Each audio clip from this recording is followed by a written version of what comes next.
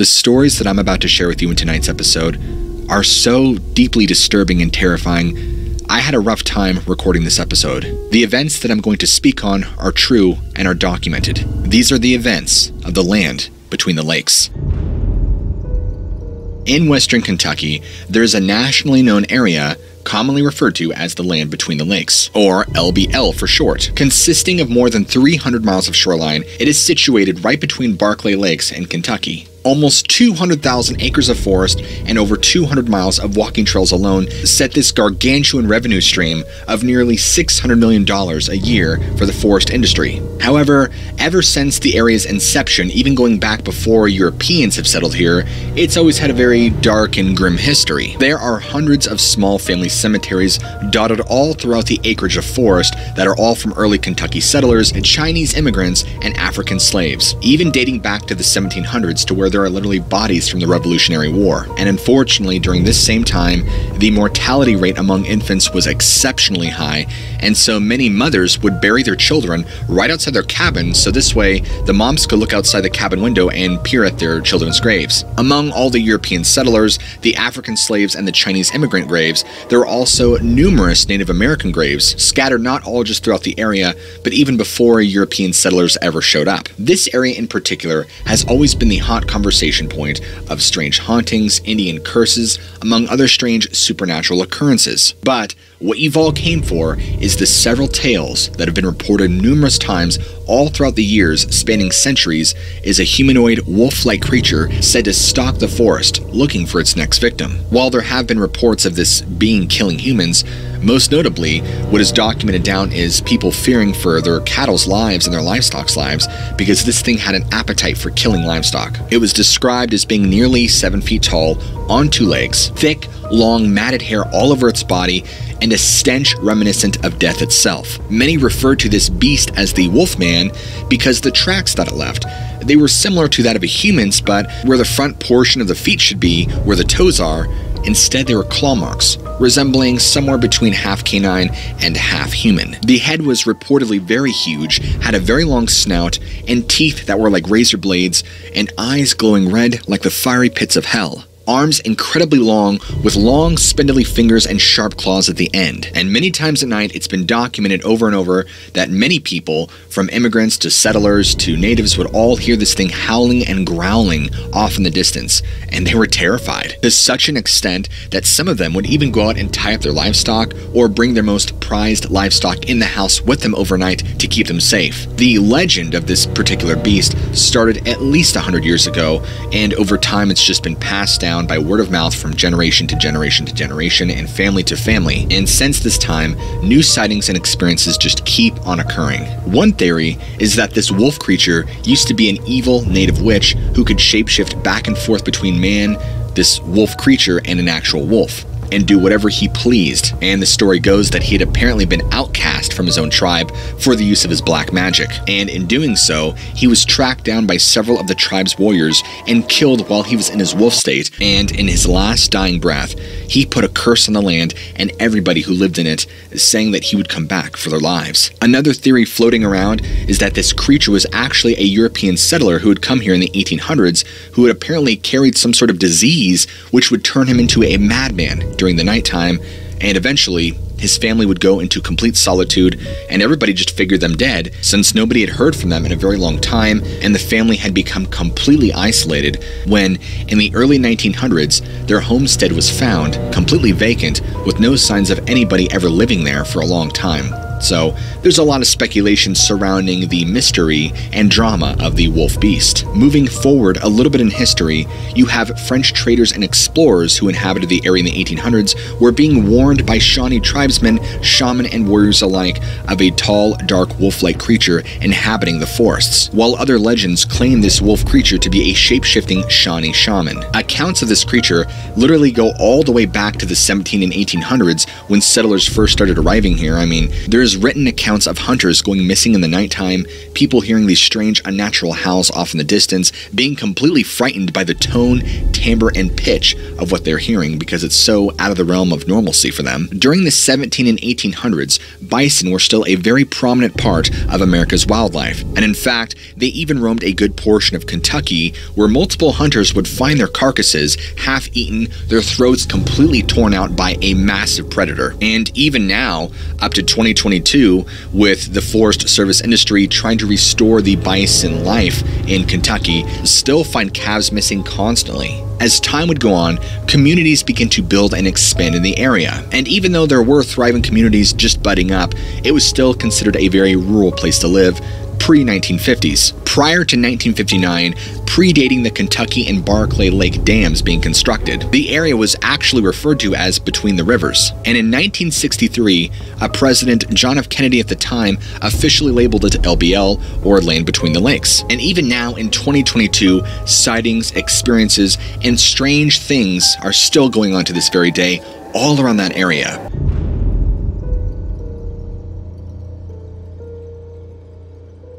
One of the more frightening documented cases that occurred to a group of university students who were camping at Land Between the Lakes back in 1973. The story goes that a group of young college guys got together to go have a good time, to go camping. They were sitting there next to their Volkswagen microbus, just enjoying the nice warm fire, enjoying a beautiful spring evening in the middle of lush nature when one of them had to respond to a nature call. So he goes off into the woods and takes care of business, and while his friends sit around the fire and continue talking and enjoying each other's company.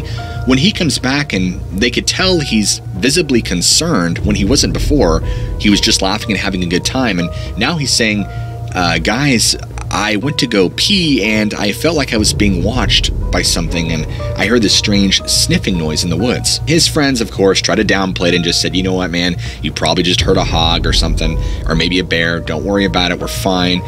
But he would not accept that as an answer because as evening turned into night, he began to grow increasingly nervous, and as night grew more and more, the boys would start to become more and more tense, no longer being able to just brush it off as nothing, because now they could sense that something was wrong, and they could hear shuffling of something moving all around their campsite. And in fact, it wasn't just moving, it was circling the campsite. So something, a predator, was large enough and intelligent enough to use strategy to keep hidden out of the light of the fire, to circle around the campsite like it was stalking its prey, and they could hear it shuffling and sniffing around. And they could hear whatever it was was moving moving very swiftly all around their campsite, back and forth, just waiting like a cat waiting to pounce on a mouse. The boys at this point, extremely anxious, began shining their lights around the woods, expecting to find something, but their light never caught anything because this thing was so intelligent, it knew and was able to keep out of the light. And that's when howling had erupted from the woods around them, similar to that of a wolf howl, but deeper and guttural and blood curdling. And the howling had erupted from all around them. So now they were completely surrounded by multiples of these beings making these noises. And that's when they begin to see glimmering eyes going back and forth and passing around their campsite. And they'd only catch it for a glimpse and then it was gone. And so now, as you can imagine, things are growing incredibly tense. All of the boys at this point are completely terrified. They all run into the Volkswagen bus and are deciding, we gotta get out of here. There is something stalking us. We are terrified. So they get ready to pull out, and as they do, and they're going down the dirt road out of the forest, they see something in the backlights, the faint lights of the Volkswagen. They're being pursued by a large black figure that looked to be like a wolf chasing after the Volkswagen. And as their vehicle had slowed down to approach a corner, they feel this massive jolt in their Volkswagen and they could see that this creature was holding on to the Volkswagen with all of its strength, trying to hold the Volkswagen and pull it back. Pressing down the gas pedal as hard as they possibly could, they were finally able to get enough leverage to fly out of there and be gone. After breaking free and tearing out of the woods, they did not stop until they had arrived back on campus, where they would all get out, completely shaken, nearly in tears, and when they went to inspect the back side of their Volkswagen, they found four deep gashes like claw marks torn into the metal of the engine compartment on the Volkswagen.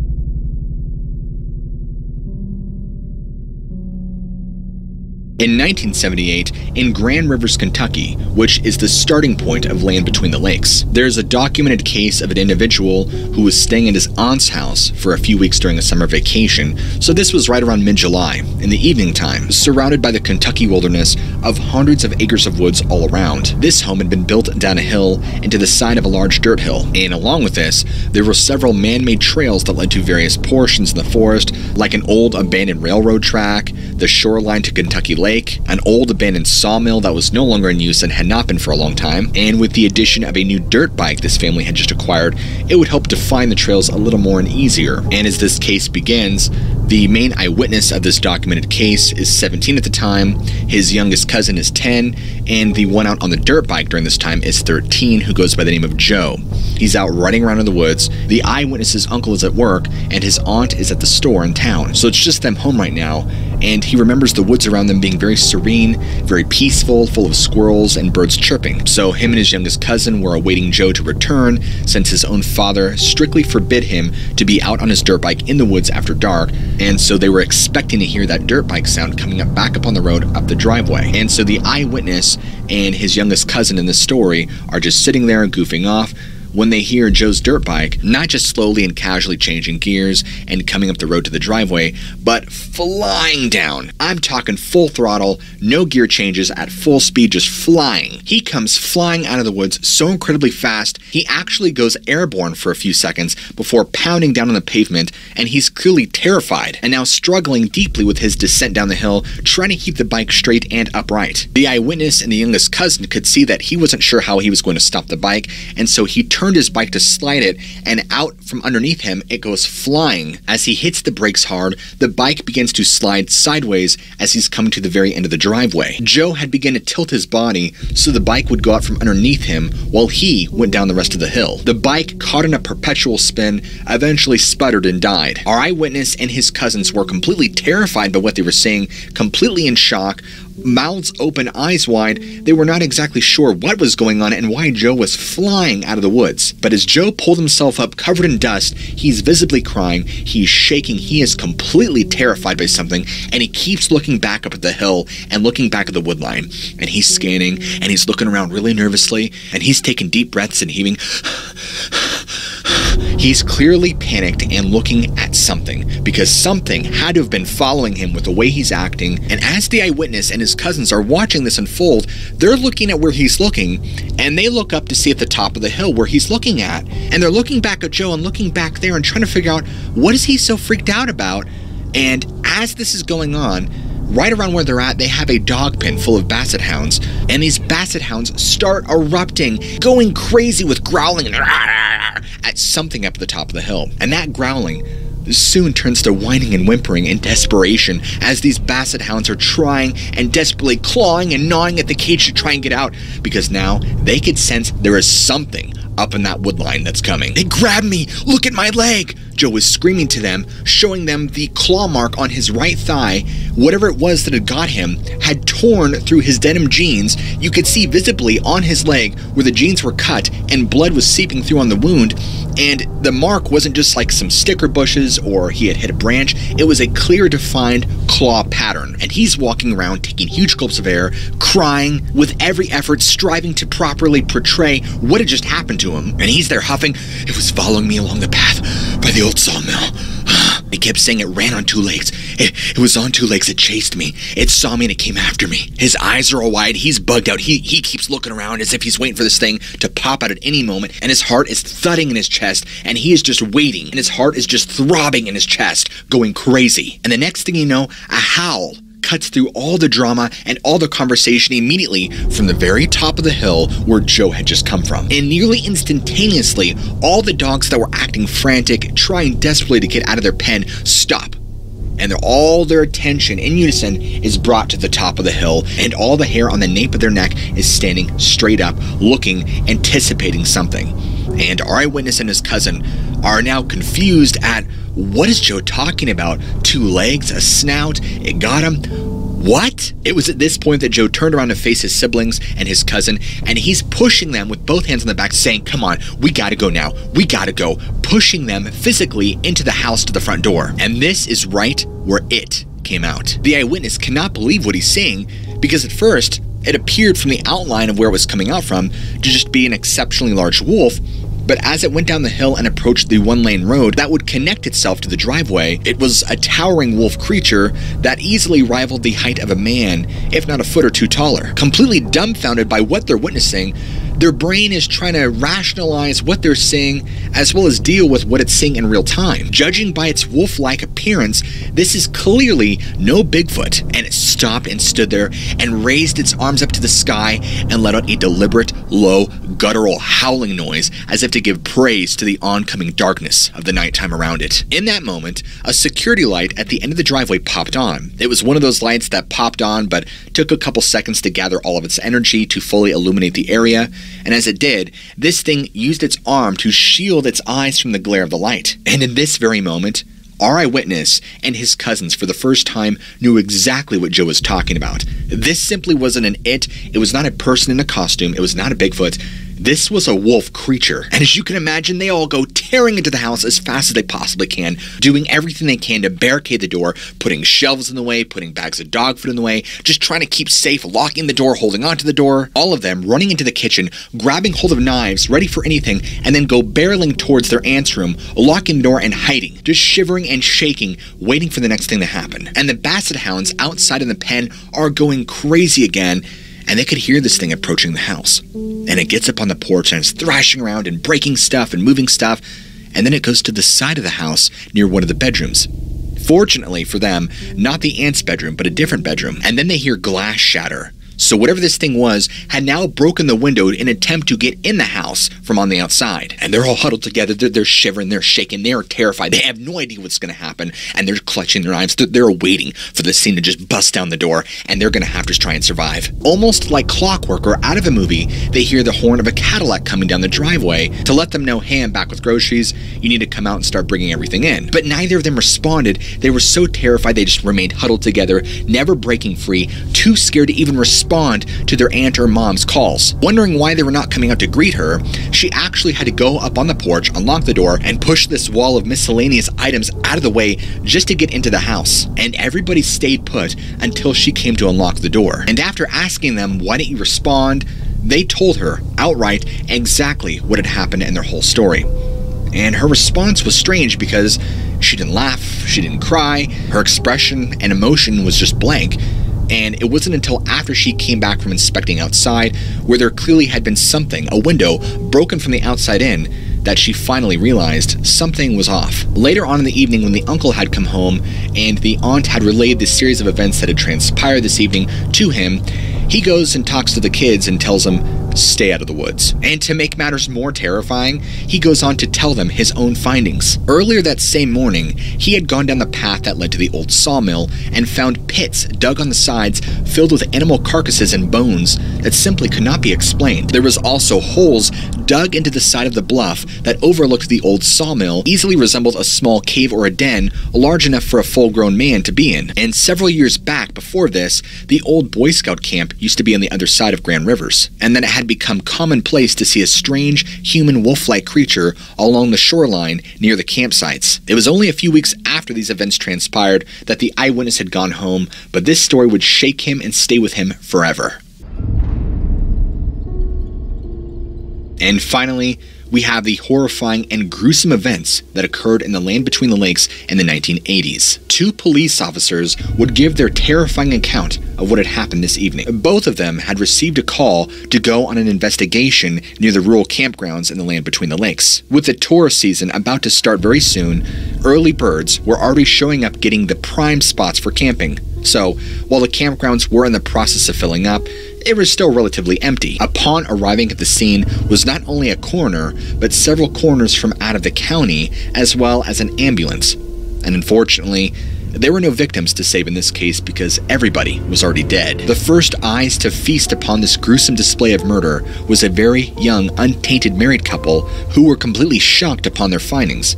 neither one of them wanting to leave each other to go and get help. So, both being incredibly nervous and disturbed by their findings, traveled to the nearest town in order to seek help. And in turn, Grand Rivers then called the authorities to go investigate. This married couple was so freaked out by what they had found, they refused to go back, only giving officers directions and pointing them in the right place to get where they needed to go.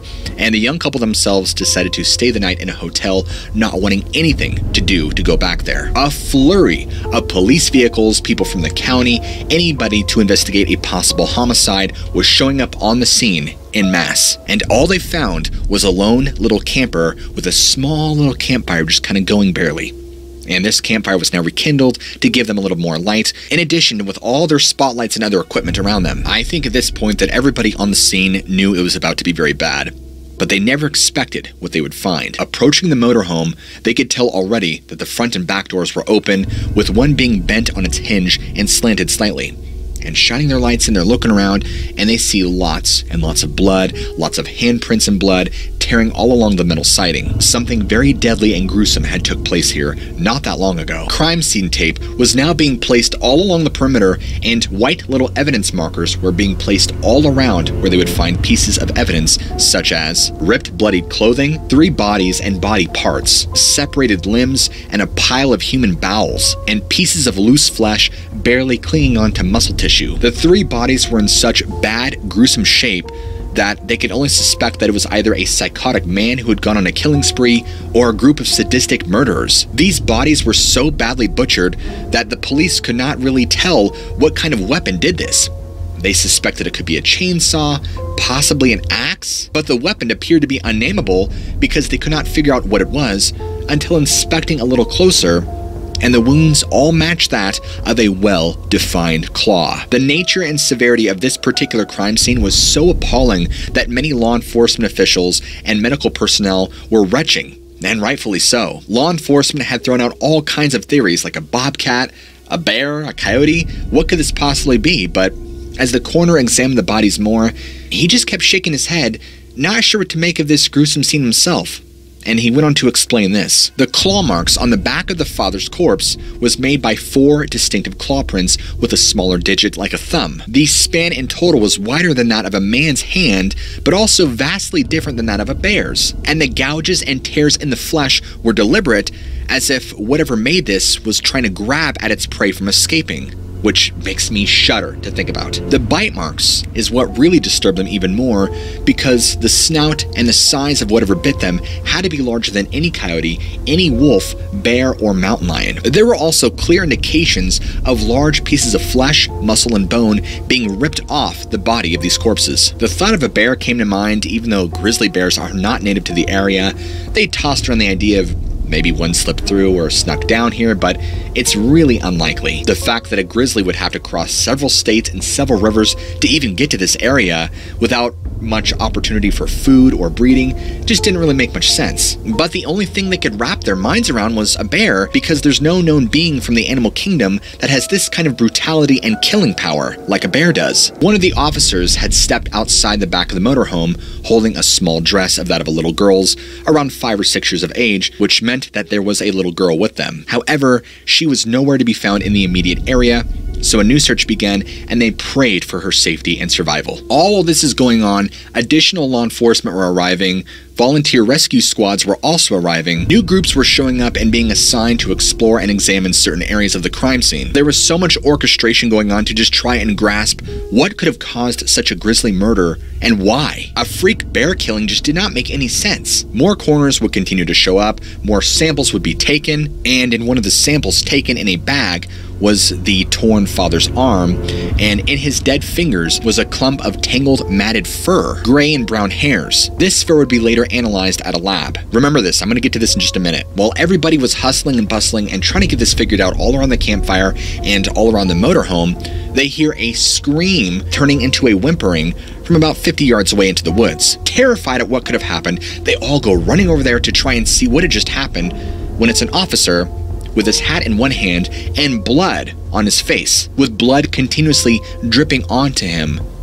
Something above him Immediately, they all show their light sources up looking for the source of this dripping blood. And all law enforcement could see in that moment is a long, slender hand hanging off a large tree branch and a leg, completely lifeless, with a white sock still on the foot. After going up there and retrieving this little girl's body, whatever had taken her had just been casually eating on her corpse, sprawled out and laid on the branch. And that same gray and black fur was found sticking into the bark right near where her body was found. The exact same gray and brown hair that was found tangled in the dad's fingers. Within hours after this discovery, many of the law enforcement and medical personnel were sent away as new investigation teams would arrive on the scene to try and help figure out what could have done this and why. Law enforcement, specifically, though, were strictly given the orders to not talk about this, especially to the media, given the severe circumstances. And many of them, many of them held on to that awful secret for such a long time. And pretty shortly thereafter, the results from those tests came back from analyzing that gray brown hair. And do you know what they found? The species was that of an unknown origin, the closest DNA they found that matched the hair on the crime scene was that of a Canis lupus, a wolf. These stories were very hard to tell, they are deeply disturbing and very terrifying. I greatly encourage you to do your own research and dig and see how much you can find, but I'm going to tell you, you might not like what you find. And please, whatever you do, stay out of the woods.